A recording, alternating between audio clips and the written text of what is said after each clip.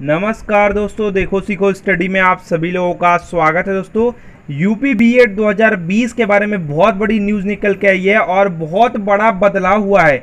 जी हाँ दोस्तों, काफ़ी यहाँ पर बदलाव आपको देखने को मिल रहा है और यहाँ पर परीक्षा तिथि के बारे में न्यूज़ निकल के आई है। देखिए, यहाँ पर बात करें तो 50 जिलों में लगभग में दोस्तों जो है परीक्षा कराने वाले थे यूपी बीएड का, ठीक है? प्रवेश परीक्षा की बात हो रही है।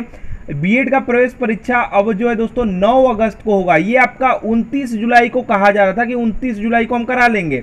लेकिन दोस्तों ये जो भी मंथन किया गया है, उसमें ये पता चला है कि कोरोना का संकट है, साथ ही साथ बहुत सारे और भी प्रॉब्लम्स आएँगे, चाहे वो ट्रांसपोर्टेशन या जाने आने का बहुत सब चीज़ें आपकी प्रॉब्लम आ सकता है। तो यहाँ पर ये फैसला किया गया है कि 9 अगस्त को जो है ये आपका बीएड का प्रवेश परीक्षा जो है पोस्टपोन हो गया है। जो कि परीक्षा आपका लिया गया था मतलब कि होने वाला था कितना? 29 जुलाई को, ठीक है? तो जो भी लोग तैयारी कर रहे हैं तो देखिए, ध्यान दीजिएगा, यहाँ पर हिंदी काफ़ी आपके लिए, आर्ट वालों के लिए काफ़ी यहाँ पर जो है मेन है। साथ ही साथ आपका जीएस ठीक है? काफ़ी इसमें मिक्स रहता है क्वेश्चन अलग अलग टाइप के।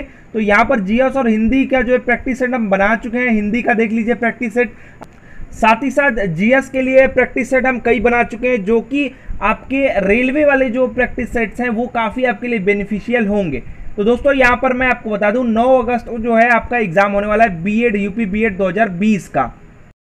दोस्तों, देखिए, मैं तो यही कहूँगा कि जिन भी लोगों को अच्छा रैंक लेके आना है, सरकारी कॉलेज मिल जाए, वैसा रैंक लेके आना है तो अच्छे से पढ़ाई करिए। कुछ यहाँ पे टॉपिक्स है जिनको क्लियर करके आप जो है पा सकते हैं अच्छा से अच्छा कॉलेज तो देखिए दोस्तों लेटेस्ट अपडेट थी लेटेस्ट न्यूज़ था, सोचा आप सभी लोगों को बता दें दोस्तों। आशा करते हैं हमारा वीडियो हमारे प्रयास आपको पसंद आया होगा। वीडियो को अधिक से अधिक लाइक कीजिए शेयर कीजिए। और अब इस वीडियो के बारे में क्या सुझाव देते हैं कमेंट बॉक्स में जो जो लिखिए। हमारा वीडियो देखने के लिए आप सभी लोगों का फिर से बहुत बहुत धन्यवाद।